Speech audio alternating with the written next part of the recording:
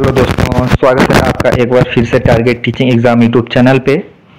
तो आज की इस वीडियो में हम लोग बात करने वाले हैं BPSC PRT three point zero अभी तक जो है, आप लोगों के मन में बहुत डाउट होगा कि जो है इतने मार्क हैं तो मेरा रिज़ल्ट होगा या नहीं होगा। तो आज इस वीडियो को देखने के बाद ये सारा कन्फ्यूज़न आप लोगों का दूर होगा और आप लोग को जो है आज के बाद से कोई कट ऑफ़ देखने की ज़रूरत नहीं पड़ेगी। और आज की इस वीडियो में मैं आपको दिखाने वाला हूँ प्रूफ के साथ कि जो है पिछली बार जो पीआरटी टीआरई 2.0 हुआ था, उसमें जो है 77 नंबर तक कितनी रैंक गई थी पीआरटी में? और ये जो है रिज़ल्ट ऑफिशियल वेबसाइट पे है बीपीएससी के तो आप लोग भी जाके देख सकते हैं। तो चलिए मैं आपको अब दिखाता हूँ। तो जैसा कि दोस्तों, आप सभी लोगों को पता है, जितने भी लोगों ने जो है पीआरटी टीआरई 2.0 का एग्ज़ाम दिया है। उन सभी लोगों को पता है कि इसमें जो है, आपको दो प्रकार के जो है फॉर्म फिलअप करवाए गए थे। इसमें कोई अलग से शुल्क नहीं लगा था। एक तो आपको शिक्षा विभाग का फॉर्म फिलअप आपने किया था और एक जो है आपको अनुसूचित जाति और जनजाति कल्याण विभाग का जो है वो भर्ती देखने को मिला था। तो इसके लिए जो है आप लोग को अलग से शुल्क नहीं देना पड़ा था। दोनों फॉर्म जो है वो एक ही में फिलअप हो गया था। और एग्ज़ाम भी जो है वो एक ही था। बस इसका मेरिट जो है अलग अलग बन गया था। तो इसमें जो है आप लोगों को टोटल दो रिज़ल्ट दिए गए थे। तो इसके डाटा के अनुसार अब मैं आपको दिखाने वाला हूँ कि 77 नंबर तक कितनी रैंक थी पीआरटी में। और देखिए, क्योंकि इसमें अलग से कोई शुल्क नहीं लगा था तो जितने लोगों ने भी जो है शिक्षा विभाग का जो है एग्ज़ाम दिया था, उन सभी लोगों ने जो है वो अनुसूचित जाति और जनजाति कल्याण विभाग का भी जो है वो एग्ज़ाम दिया था। सेम एग्ज़ाम हुआ था, दोनों का। कोई अलग अलग एग्ज़ाम नहीं लिया था बीपीएससी ने। और कैंडिडेट की संख्या भी लगभग एक लाख के समथिंग थी। तो अब आइए मैं आप लोग को दिखाता हूँ। तो जैसा कि दोस्तों, आप लोग यहाँ पे देख सकते हैं, इसमें जो है 250 सीट पे जो है रिज़ल्ट दिया गया था। इसमें यूआर का जो कट ऑफ़ था 91 था यूआर फीमेल का 87 था। और यहाँ पे आप लोग देखें ईडब्ल्यू एस फीमेल यहाँ पे कितना गया था कट ऑफ़ सतहत्तर गया था। तो इस वीडियो में इसी डाटा के अनुसार मैं आप लोगों को दिखाने वाला हूँ कि सतहत्तर नंबर तक क्या रैंक थी टीआरई 2.0 में। तो आइए देखते हैं। तो सबसे पहले आप लोग को यह समझना होगा कि मेरिट सीरियल नंबर क्या है। तो यहाँ पे जैसे आप लोग देख सकते हैं, ये ईडब्ल्यू e मेल का रिज़ल्ट है। इसमें जो मेरिट सीरियल नंबर है, यहाँ पे आप लोग देखेंगे मोहित कुमार सिंह। इनका मेरिट सीरियल नंबर है 83 यानी अगर एक लाख लोग एग्ज़ाम दिए होंगे तो इसमें जो है मोहित कुमार सिंह, इनका मेरिट सीरियल नंबर था 83 यानी ये जो है इनकी रैंक को बता रहा है। मेरिट सीरियल नंबर ये इनकी रैंक को बता रहा है कि एक लाख में जो है इनकी रैंक कितनी थी। अब आइए बात करते हैं हम लोग कि सतहत्तर नंबर तक जो है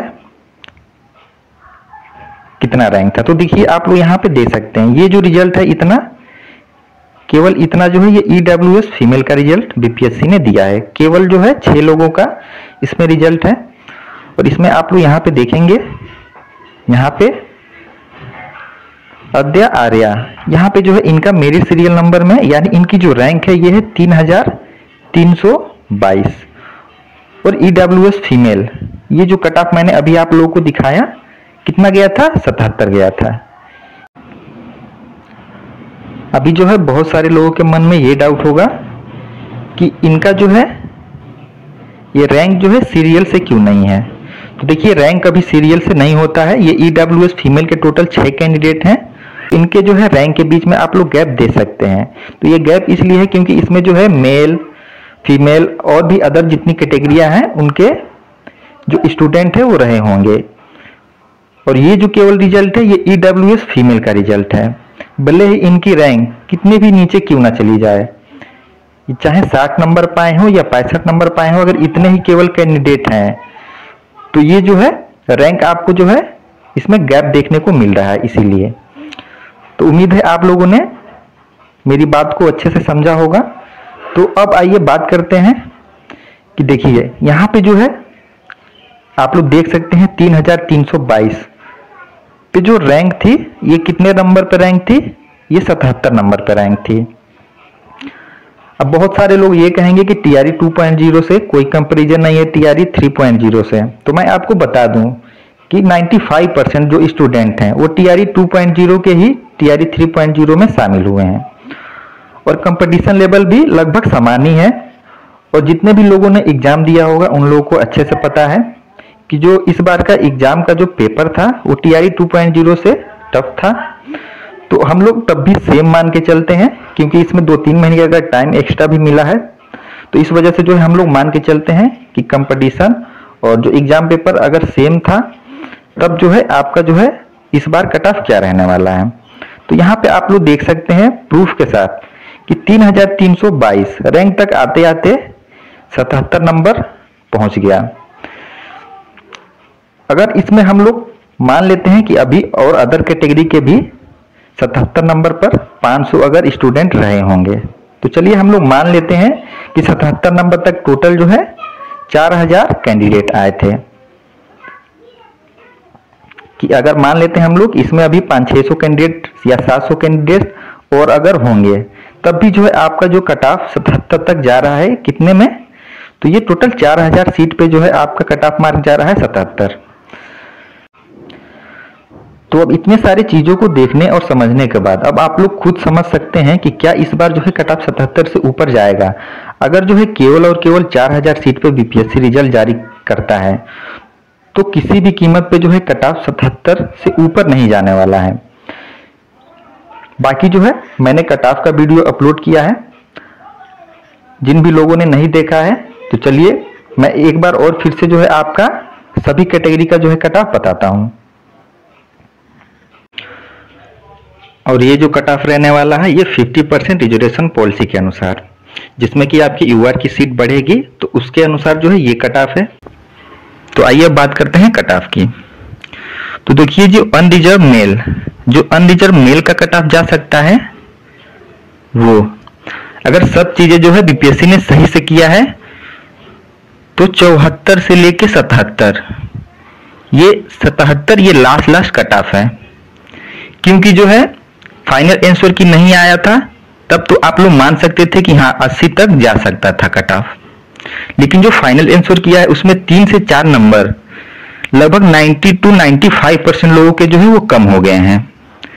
या तो उतने लोगों के नंबर कम हो गए हैं, उतने परसेंट लोगों के नंबर या तो फिर पाँच से दस परसेंट लोग ऐसे हैं जिनके एक नंबर बस एक नंबर जो है, वो इंक्रीज हुए हैं। या तो बिल्कुल भी इंक्रीज नहीं हुए हैं, या तो एक नंबर इंक्रीज हुए हैं, और मैक्सिमम लोगों के नंबर जो है तीन से चार कम हुए हैं। तो अब जो नया कट ऑफ़ होगा, उसमें यू आर मेल का कट ऑफ़ क्या होगा? तो वो होगा चौहत्तर से लेके सतहत्तर। सतहत्तर से ऊपर फाइनल आंसर की आने से पहले जा सकता था, लेकिन जब फाइनल आंसर की आया तो उसके बाद जो है सतहत्तर से ऊपर कट ऑफ़ नहीं जाएगा। तो यहाँ पे जो है कट ऑफ़ होगा अनरिजर्व फीमेल का, वो होगा चौसठ से लेके सड़सठ। ये अनरिजर्व फीमेल का कट ऑफ़ होगा। अब बात करते हैं ईडब्ल्यू एस मेल का कट ऑफ़ तो ईडब्ल्यू एस मेल का कट ऑफ़ क्या होगा? तो ईडब्ल्यू एस मेल का जो कट ऑफ़ होगा, वो होगा सड़सठ से लेके सत्तर। अब बात करते हैं ईडब्ल्यू एस फीमेल का। तो ईडब्ल्यू एस फीमेल का कट ऑफ़ जाएगा आपका साठ से लेके बासठ। सकता है। बाकी जो है, आपको ये जितना करना बताया जा रहा है, बहुत एनालिसिस करने के बाद बताया जा रहा है। तो आप लोग विश्वास कर सकते हैं कि जिनके भी इतने नंबर हैं, उनके जो है काफ़ी अच्छे चांस है सिलेक्शन के। अब बात करते हैं एससी मेल की। तो एससी मेल की कट ऑफ़ जा सकती है, वो जा सकती है पचास से लेके पचपन। अब एससी फीमेल की कितनी जाएगी? तो ये जा सकती है पैतालीस से लेके पचास। बात करते हैं एसटी की कट ऑफ़ की। तो एसटी की जो कट ऑफ़ जा सकती है, वो जा सकती है 50 से लेके 55 क्योंकि एस सी एस टी में जो है बहुत ज़्यादा आपको अंतर देखने को नहीं मिलेगा। लगभग सेमी कट ऑफ़ जाता है। और एस टी फीमेल की जा सकती है आपको 45 से लेके 50 ईबीसी की कट ऑफ़ क्या हो सकती है? तो ईबीसी की कट ऑफ़ हो सकती है चौसठ से लेके सड़सठ। ईबीसी फीमेल की तो ये हो सकती है 55 से 60 के लगभग में। अब बात करते हैं बीसी मेल की कट ऑफ़ तो बीसी देखिए यूआर मेल का जो कट ऑफ़ होता है, उससे अगर कम किसी का नज़दीक कट ऑफ़ जाता है तो वो जाता है बीसी का। तो बीसी का जो कट ऑफ़ लगभग जा सकता है, वो जा सकता है अड़सठ से लेके बहत्तर तक। और बीसी फीमेल का कट ऑफ़ जा सकता है अट्ठावन से लेके बासठ। तो देखिए दोस्तों, आपको जो है सारी कैटेगरी की जो है कट ऑफ़ बता दी गई है। बाकी अगर आपको जो है ये कट ऑफ़ जो है सही लगा हो तो कमेंट ज़रूर करें कि कितना हद तक जो है ये कट ऑफ़ सही है।